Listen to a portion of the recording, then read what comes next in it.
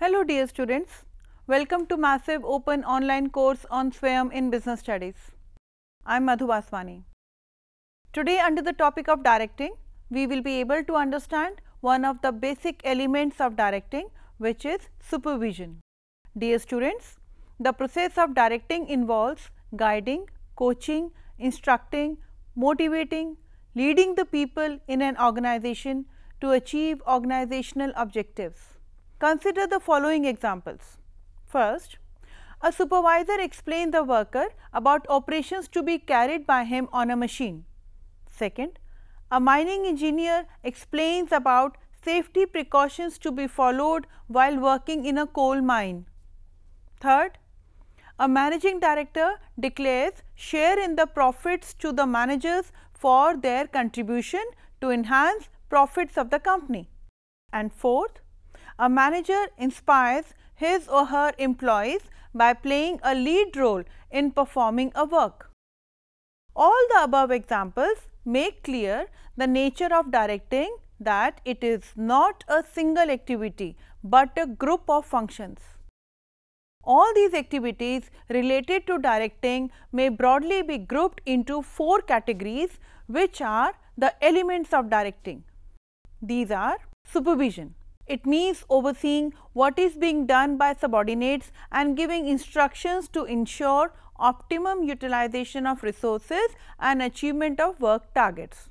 Motivation. It means the process of making subordinates to act in a desired manner to achieve certain organizational goals. Leadership.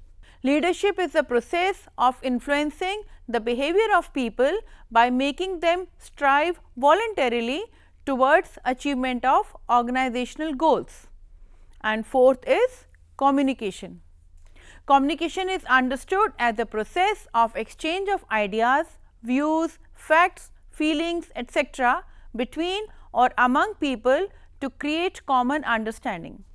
Communication is the process of exchange of information between two or more persons to reach common understanding. To know more about directing, these elements should be discussed in detail. In this module, we will discuss in detail about supervision.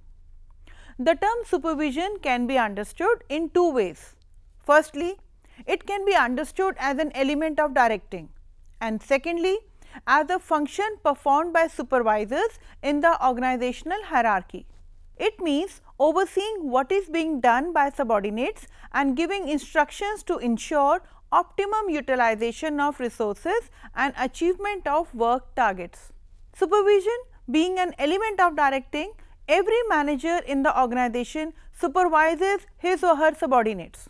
It refers to monitor the progress of routine work of one's subordinates and guiding them properly. In this sense, supervision can be understood as the process of guiding the efforts of employees and other resources to accomplish the desired objectives. It means overseeing what is being done by subordinates and giving instructions to ensure optimum utilization of resources and achievement of work targets. Supervision can be understood as a function to be performed by supervisor, a managerial position in the organization hierarchy at the operative level that is immediately above the worker. The functions and performance of the supervisor are vital to any organization because he is directly related with workers whereas other managers have no direct touch with bottom level workers. Let us discuss about the importance of supervision. Supervisors play an important role in the business environment. Their primary job is to see that the work performed by employees is completed on time and at the highest level of quality. In order to complete this task, they must know the production process and have an understanding of human behavior. The importance of supervision can be understood from multiple roles performed by a supervisor which are as follows. Supervisor acts as a guide, friend and philosopher to the workers. Supervisors maintain day to day contact and maintains friendly relations with the workers. A good supervisor acts as a guide, friend and philosopher to the workers. The top level and middle level plan out all the instructions, but the instructions are issued only by supervisory level management. The supervisor makes sure that all the instructions are communicated to each and every employee. The guidance and strict supervision of the supervisor encourages the workers and employees to be more disciplined in their activities. Under the guidance of supervisor, the workers follow a strict and fixed timetable and execute the plans in right directions. A supervisor can undertake many steps to maintain discipline in the concern by regulating strictness in orders and instructions, checks and measures, keeping an account of general discipline of factory, implementing penalties and punishments for the indisciplined workers. All these above steps help in improving the overall discipline of the factory. A good supervisor can be a priceless addition to the career of an employee. The employee can look to the supervisor as a model for direction and development. A supervisor is the leader of workers under him. He leads the workers and influences them to work their best. Usually, the supervisor understands the organization and the employee's profession better than the employee. Consequently, the supervisor is in a unique position to give ongoing advice to the employee about job and career. He also guides the workers by fixing production targets and by providing them instruction and guidelines to achieve those targets. The supervisor can handle the grievances of the workers effectively by being in direct touch with the workers, winning their confidence by solving their problems. He takes worker problems on humanitarian grounds and if he cannot tackle it independently, he can take the help and advice of management to solve it. The second important role performed by a supervisor is that a supervisor acts as a linking pin. Supervisor acts as a link between workers and management. He conveys management ideas to the workers on one hand and workers problems to the management on the other. This role played by supervisor helps to avoid misunderstandings and conflicts between management and workers or employees. He communicates the policies of the management to workers, also passes instructions to them on behalf of management. On the other hand, he has a close contact with the workers and therefore, can convey the suggestions, problems, complaints etc., to the management. In this way, he communicates workers' problems and brings it to the notice of management. Supervisor makes sure that the instructions and orders are clear to all the members of the organization. While playing the role of the linking pin or mediator, the supervisor tries to remove the communication gap between the superiors and subordinates. Often, the supervisor is the first person to tell employees about new programs and policies from management. It is not uncommon that employees are confused or frustrated by these new actions and need further support and clarification from supervisors. In the rapidly changing world of today's organizations, it can be a major challenge to present new programs to employees without their being frustrated or even cynical. The supervisor must be authentic yet tactful. It is not unusual for employees to sometimes see the supervisor as part of management, while at other times seeing the supervisor as a personal friend. The supervisor is often responsible to represent the employee's request to management, along with also representing the employee's case for deserving a reward. For example, if an employee deserves a promotion, etc. Third importance is that supervisor maintains group unity and harmony. Supervisor plays a key role in maintaining group unity among workers placed under his control. He sorts out internal differences and maintains harmony among workers by solving their disputes. Fourth importance is that a supervisor acts as a goal setter and facilitates control. Supervisors are responsible for setting goals for themselves and their subordinates. They must sit down with their subordinates and work together to set goals and monitor progress. This function requires full employment of the supervisor's communication skills. Supervisors cannot simply set goals and then ignore them. First, they must set realistic goals for themselves and their staff members. Then they must establish communications channels through which they and their subordinates monitor progress. Controlling is an important function performed by supervisor. Control means match between actual and planned output. Supervisor ensures performance of work according to the targets set. Supervisor takes responsibility for task achievement and motivates his workers effectively. Whenever the workers are under constant supervision or monitoring, then step by step check is kept and if they are deviating from the plan, then immediate instructions are issued by the supervisor. By this constant monitoring, the supervision function ensures strict control over the activities of subordinates and ensures performance of work according to the targets. For achieving this involves constant feedback between supervisors and subordinates, without which supervisors cannot be effective. Thus, a supervisor's basic role is to plan the daily work schedule of the workers by guiding them, the nature of their work and also dividing the work among the workers according to their interests, aptitudes, skills and interests.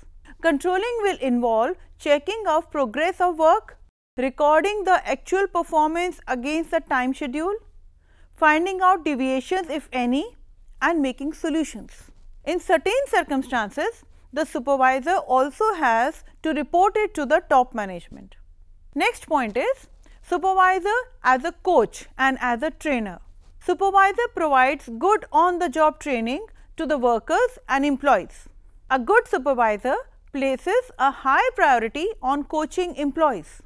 Good coaching involves working with employees to establish suitable goals, action plans and timelines.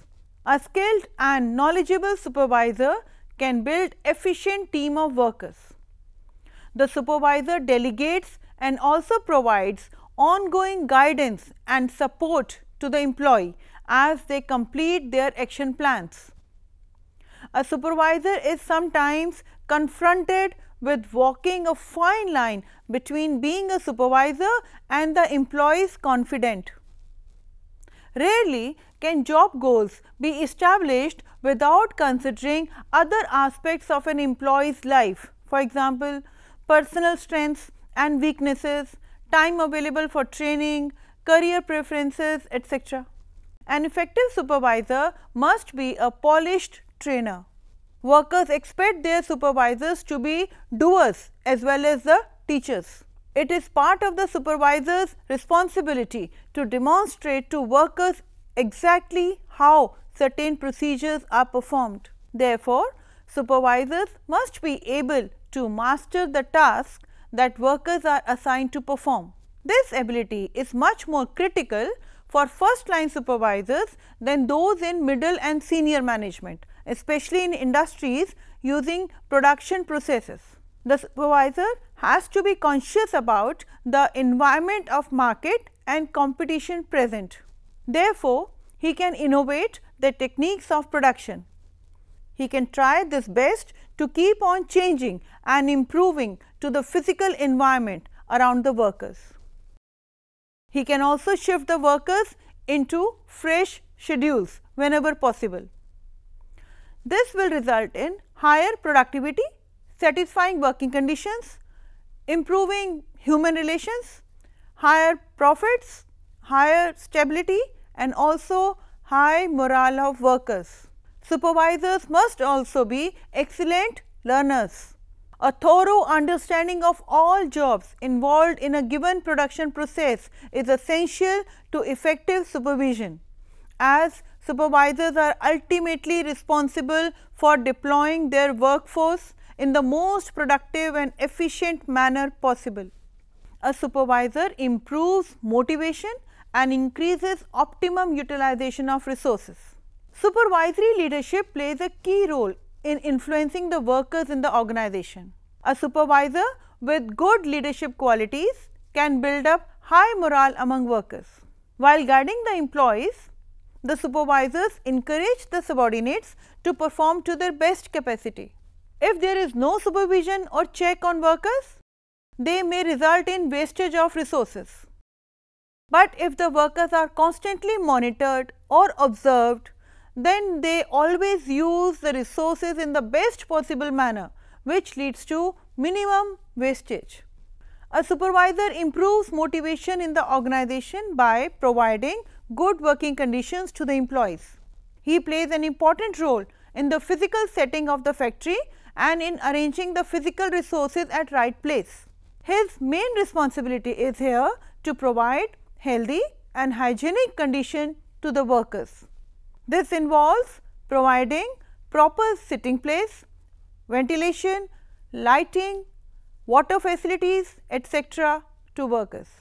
There are different monetary and non-monetary incentives which can inspire the workers to work better. So, a supervisor plays an important role by providing different incentives to workers to perform better. For this, given their daily presence among their employees, supervisors need to be aware of the needs of their subordinates. For example, they must know how to motivate people, how and when to discipline them, how to reward them, and when and how to refer them to employee assistance programs. They may have the assistance of human resources specialist in some of these areas, but the basic responsibility is the supervisors. Employees who are happy and take pride in their work are more productive, responsive and loyal to overall corporate projects and goals. Next importance of supervision is that supervisors give feedback. The supervisors are directly dealing with the subordinates. So, they are the best persons to give feedbacks of subordinates. A good supervisor analyses the work performed and gives feedback to the workers. He suggests ways and means of developing work skills. Workers want honest and frequent appraisals of their work and suggestions from their supervisor on how to improve their performance. Supervisors also give the report to their superiors, also regarding the working of every worker which becomes the base for the performance appraisal for the employees. The supervisor gives the feedback regarding complaints, grievances and problems of subordinates to the superiors. Factors like cost, output, performance, quality etc., can be reported continually to the management. A supervisor has got an important role to report about the cost, quality and any such output which can be responsible for increasing productivity. Now, following are some other benefits of supervision. First, supervisors act as computer expert.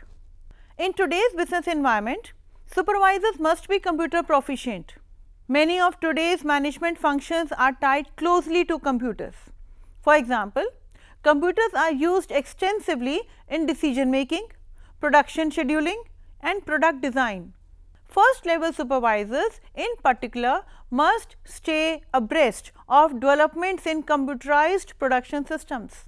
They must also be in positions to advise senior management as to what computerized systems are applicable in particular environments and what are not.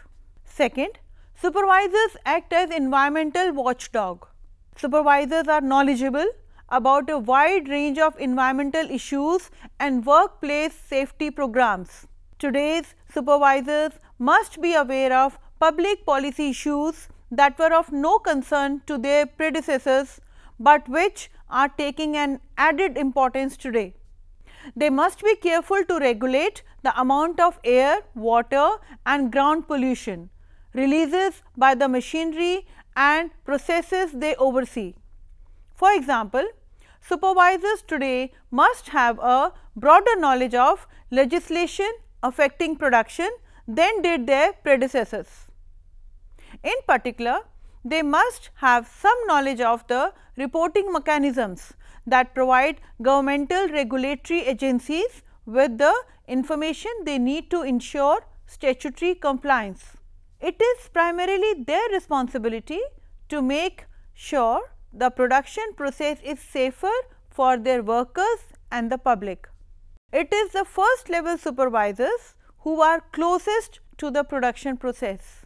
Third is supervisor acts as international manager.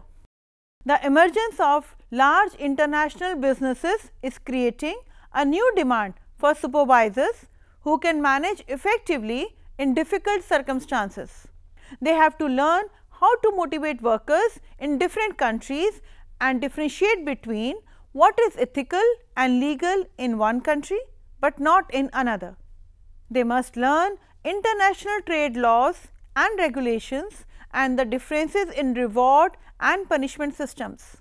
Now, let us summarize what all we discussed in this module. Elements of direction. The process of directing involves guiding, coaching, instructing, motivating, leading the people in an organization to achieve organizational objectives. The nature of directing that is not a single activity, but a group of functions. All these activities related to directing may broadly be grouped into four categories which are the elements of directing. These are supervision, motivation, leadership, communication. First element of directing is supervision. The term supervision can be understood in two ways.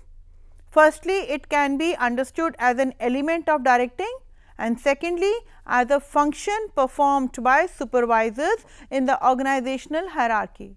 Supervision being an element of directing, every manager in the organization supervises his or her subordinates.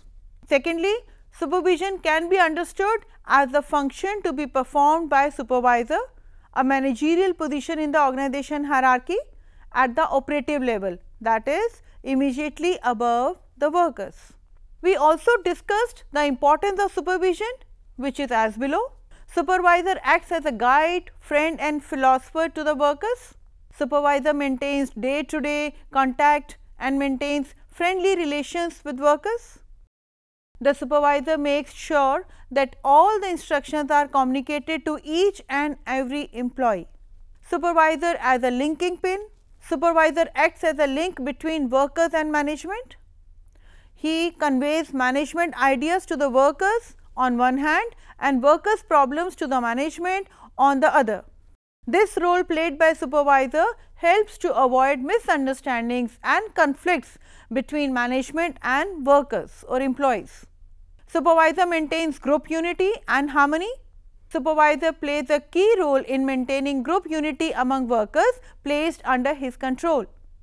He sorts out internal differences and maintains harmony among workers by solving their disputes. Supervisor as goal setter and facilitates control. Supervisors are responsible for setting goals for themselves and their subordinates. Controlling is an important function performed by supervisor. Controlling will involve checking of progress of work, recording the actual performance against the time schedule, finding out the deviations if any and making solutions. 5. Supervisor as a coach and as a trainer. Supervisor provides good on the job training to the workers and employees. A good supervisor places a high priority on coaching employees. Good coaching involves working with employees to establish suitable goals, action plans and timelines. A skilled and knowledgeable supervisor can build efficient team of workers. A supervisor improves motivation and optimum utilization of resources. While guiding the employees, the supervisors encourage the subordinates to perform to their best capacity. If there is no supervision or check on workers, they may result in wastage of resources. But if the workers are constantly monitored or observed then they always use the resources in the best possible manner which leads to minimum wastages. A supervisor improves motivation in the organization by providing good working conditions and by providing different incentives to workers to perform better. Supervisors give feedback. A good supervisor analyzes the work performed and gives feedback to the workers. He suggests ways and means of developing work skills. The supervisor gives the feedback regarding complaints, grievances and problems of subordinates to the superiors. A supervisor has got an important role to report about the cost, quality and any such output which can be responsible for increasing productivity.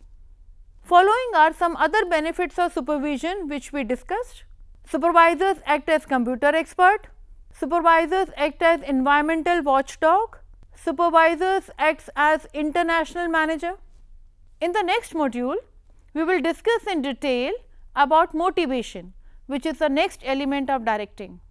This will include the three related terms of motivation, motive, motivation, motivators features of motivation, motivation process and importance of motivation. Thank you.